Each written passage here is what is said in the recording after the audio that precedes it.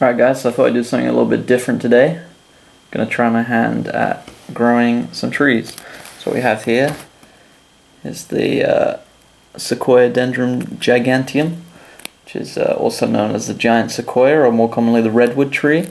And that is the largest uh, tree in the world. So uh, I thought it'd be good fun to try and grow one of those and see what happens. Um, so yeah, apparently online they say that these seeds are kind of hard to get them to germinate. So I bought 90 of them to try and give myself the best possible chance. I mean, obviously I could have bought a lot more, but um, I think 90 should be enough to get one of these seeds to uh, to germinate. Um, came with this little information. If you want to pause that, give that a read. But uh, yeah, on here it they seem to say that it's not all that difficult for these guys to germinate, but all I've been reading on the line is like, oh, there's only like, you know, one in 15 seeds will germinate and stuff like that. So, I mean, we'll see. We'll see what happens. I don't know about all that, but I'm going to try a couple of different methods to try and germinate these guys. I haven't really decided yet how many I'll do for each method, but the first method I'm going to do is uh, classic paper towel method. If you're not familiar with that, it's where you, you, you know, you take a paper towel, you get it damp, you put your seeds inside, you fold it over, and you put them in uh, kind of a, well, not necessarily airtight, but a kind of airtight container. And um, yeah, they basically they you leave them in there for yeah like a week or so, or however long it takes, and they should start to germinate and sprout little seeds inside the paper towel. I've tried that method with um, tons of different seeds. From uh, I, have grown lemon trees that way. I've grown uh, I've grown a peach peach tree that way. Uh, I grew I, I, managed to germinate a mango seed that way, and the tree grew for a little while. Um, yeah, and also uh, pepper pepper plants like this one. I used the paper towel method for, and uh, yeah, I mean it worked really well. It's growing very nicely. That's just a, a bell pepper plant. So uh, yeah, I, I've not read online about anyone trying that method for giant sequoia seeds, but um, I don't see why it wouldn't work. I mean, the, the only seed that I have not, um, the only the only seed I've actually ever really grown and not used the paper towel method was a uh, avocado seed, and I just you know you stick that in the jar with the half water and stuff. I don't. I'm not sure that would be as easy to wrap in a paper towel, so I don't know if that would work. I never tried that. But every other seed that I've ever tried has always worked with the paper towel method, so I am hopeful. So let's uh, let's get it started.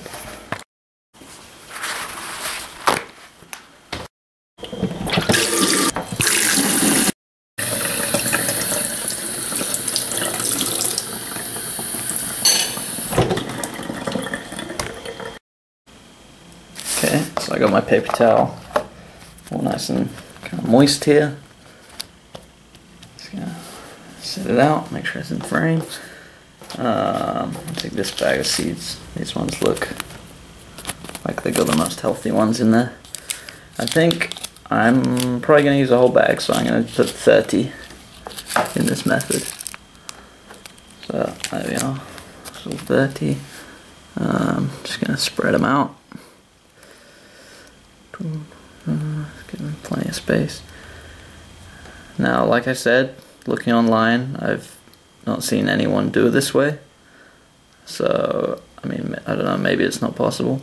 There's a lot of stuff about um, making the seed, like, you're supposed to put the, the seeds in a fridge for like, I don't know, like a month or something to kind of trick them into thinking they're going for a winter. And then, uh, and then basically when you bring them out, get them a bit warm, keep them nice and damp. They think it's um, they think it's spring and they're supposed to grow. But uh, I mean, I guess I'm just too lazy to wait. I'm, I'm probably gonna put some of these in the fridge. Probably gonna try some of these like that in case these ones don't work. But um, yeah, I don't want to wait around for three weeks while they cool down. So uh, hopefully, the internet is not, you know, right on that one, and they'll grow without doing that. So okay, we got these pretty well spread out. Okay. 30 seeds. Just want to fold that over, make sure they're all nice and covered.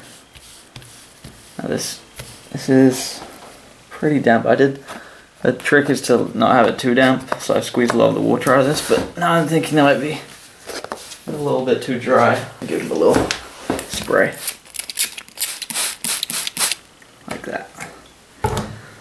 Okay, and then basically what we're gonna do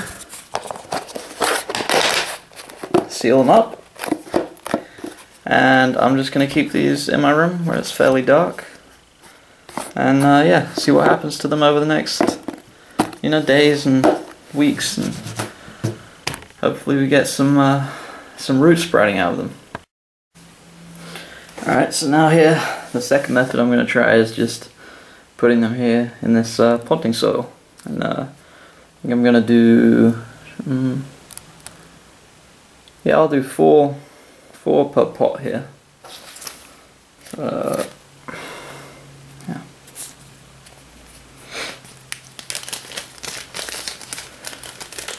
So I want to plant them fairly deep down. Oh, that's far too many. Pulled all of them out. Great. Uh, let's get good ones. So, okay, first of all.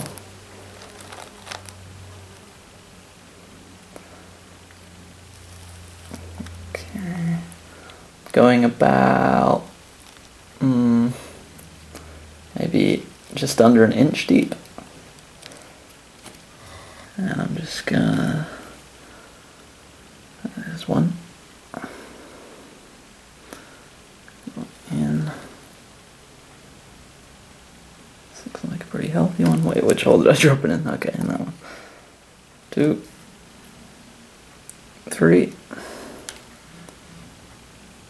And four. And just cover that back up. There you go. That's one done. I'm gonna stick them here in these nice rubber cups.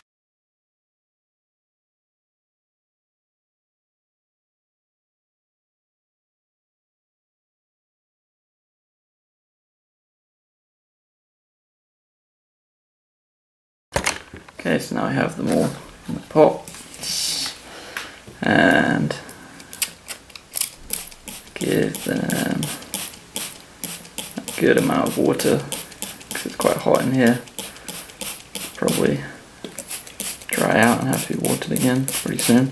We don't. We definitely don't want them to dry out. We I know for a fact I'm not you know, the best gardener in the world, but you don't want your seeds to dry out once you've started trying to germinate them. So this soil, I think, I mean, could have better drainage, but should be pretty good. I put some gravel at the bottom. Couldn't. Yeah, you see that? It's gravel, but yeah. So yeah, that's the second method. Um, we'll see if we get anything from that. Okay, so we had 12 of those seeds planted, divided over these three pots. So that means we have, what, 15, 18? 18 seeds left in here. Is that right? Yeah, that is right. So 18. And what I'm going to do with these ones is, again, going to take paper towel.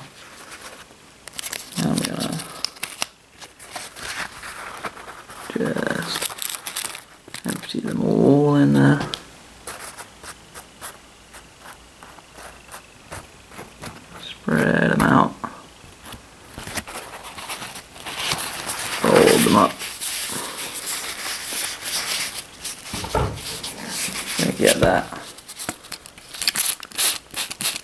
nice and damp.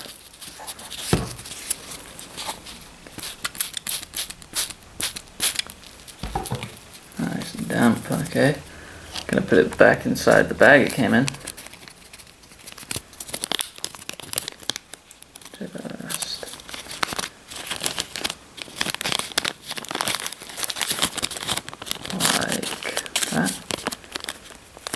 Then seal it up. Get some of that air there.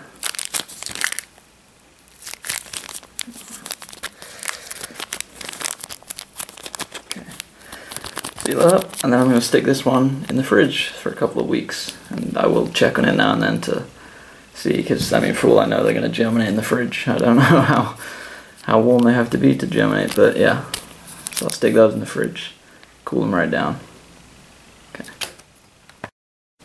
Okay, guys. So I've actually decided with these three that I'm uh, to make sure they stay nice and damp. Just you know, give them a tiny bit more. I'm gonna put these uh, Ziploc Ziploc bags over the top of them, just so the moisture kind of stays in there. Don't really to seal it, but I'll just kind of seal it to the edge so it stays tight. And then if like if the water seems to be kind of evaporating, then running down here, it's like a rubber band around them. But for now, should be fine like this. Do that to the other ones. Speed this up for you.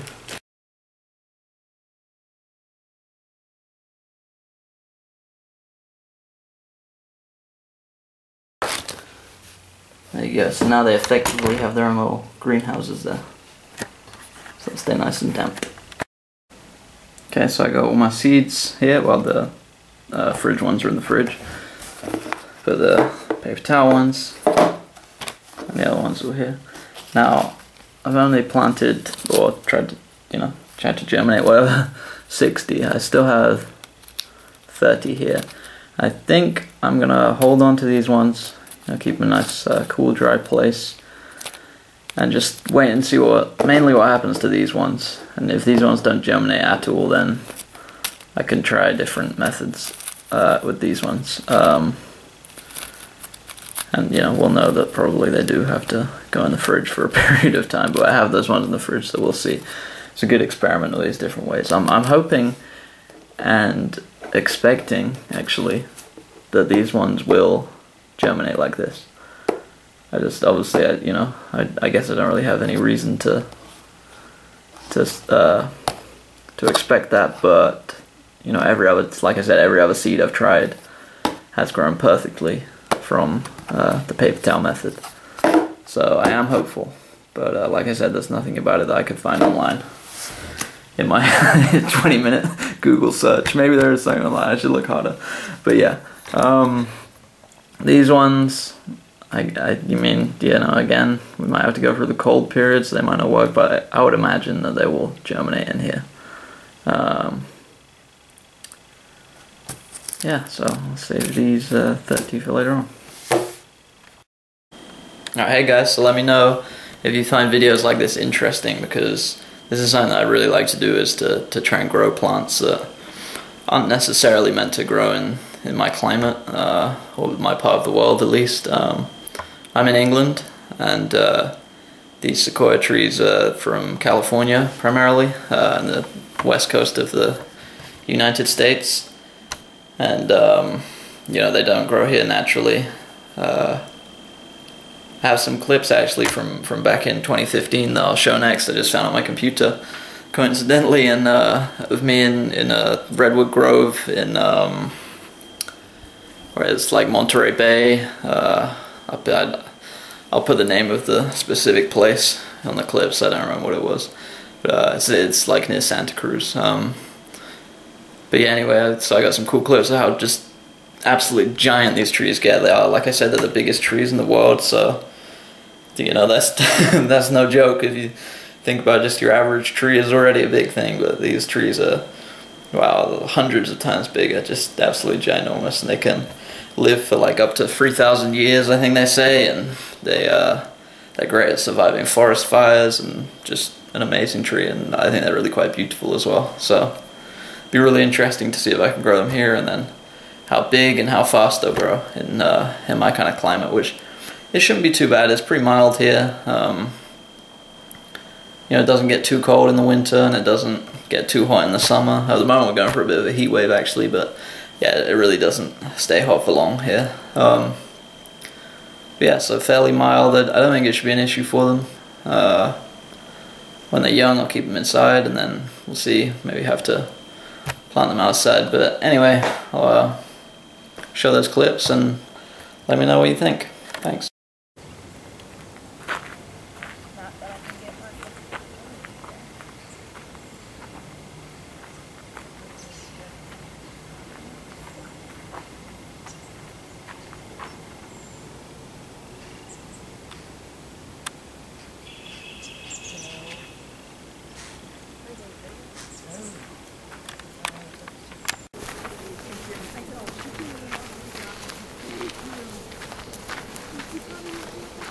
But yeah, but like let her know, because if they're feeling they love to come. Um, and she was closer than I did. Just wanted to come out here I and didn't hide. think they would have anybody. Yeah, coming she to loves this here, you know. She's a, wow. Oh. Nice move. It's a circle, so. Yeah,